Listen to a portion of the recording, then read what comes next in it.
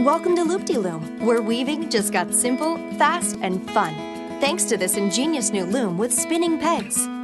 Weave cell phone cases, hand warmers, purses, scarves, headbands, baskets, blankets, pillow covers, and more. So many things you can create. So many beautiful possibilities.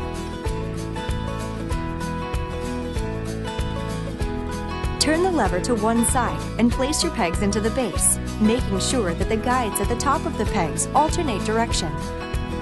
Use all 15 pegs to make something 7 inches wide, or use less pegs for something narrower. Make sure your guides alternate directions. Multiply the fun. Quickly weave wider items with no seams by connecting multiple looms together. With the levers facing directly up, align the three pegs at each end and slide together. Make sure that the bottom of the looms are aligned flat and that one lever activates both looms.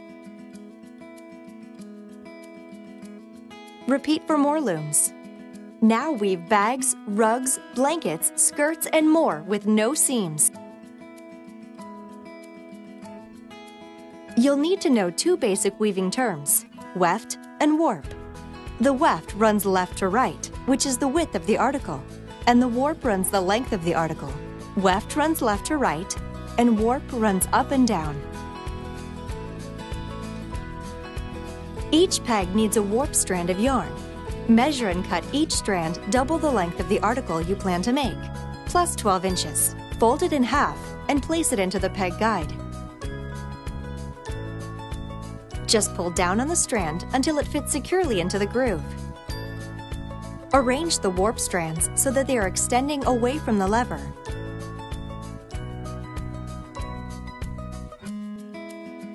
Hold your weft strand at the top of the pegs. Pull taut at each end. Align the strand between the alternating guides and pull down. Rotate the lever. Repeat. Pull taut, align, pull down. Hold the peg and pull the weft until it just touches the peg. Repeat. Hold the peg, pull the weft. It's important not to pull the weft tightly and cause the pegs to bend.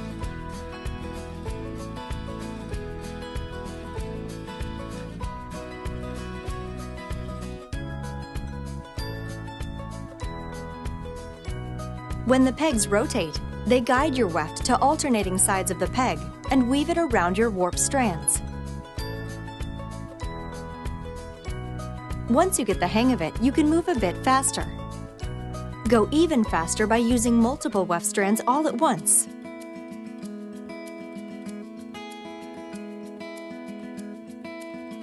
As you fill up the pegs, just push the weft down to the base to tighten the weave. When working with multiple looms, pull the weft down in sections.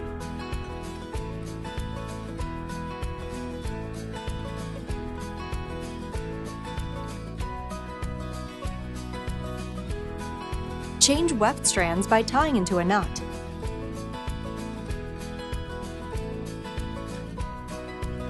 Weaving with multiple strands speeds up the weaving process. Experiment with different materials, textures, and color combinations to create something really unique.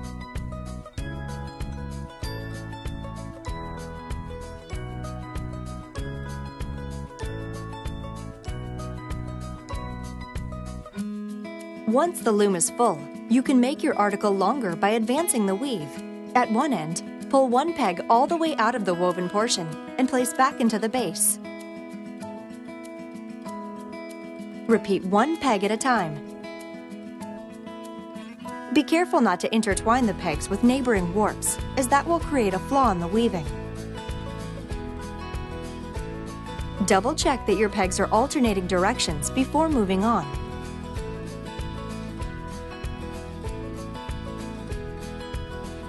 Place the woven portion at the base of the pegs Continue weaving and advancing until you have the length you want.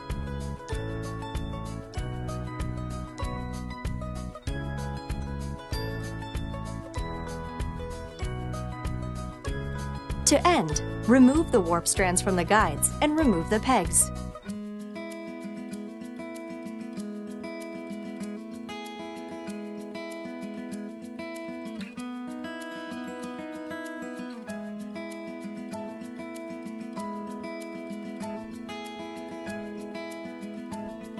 Smooth out the woven article, adjust the tightness of the weave, and pull the warp strands taut. Depending upon what you're making, there are three different ways to proceed.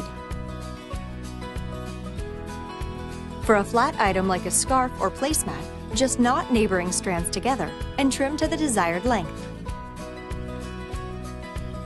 Tie a knot like a balloon and adjust location before tightening.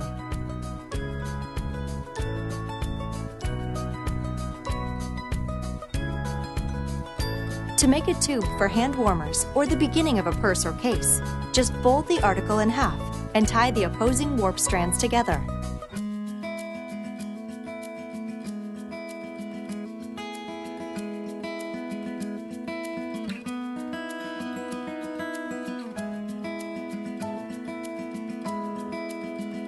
To create a case, bag, or purse, run a stitch along one end, then turn inside out. You can finish case with folded over edge on top.